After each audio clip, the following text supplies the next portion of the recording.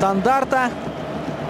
Маскера не остановил Пиньяранду, ну и частичную игру не раз демонстрировал, как сегодня.